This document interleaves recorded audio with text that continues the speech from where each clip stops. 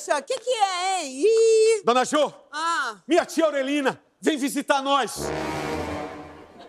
que, que aquela peste tá vindo fazer aqui? Gente, por que que vocês têm tanto medo dessa mulher? Você também é parente dela, dona Zô? Deus que me livre, a Aurelina louca só encontrava com ela nas festas de Natal. E se pudesse, não encontraria. Resumindo o que a Dona Jo disse, minha tia Aurelina é um pé no saco do cacete.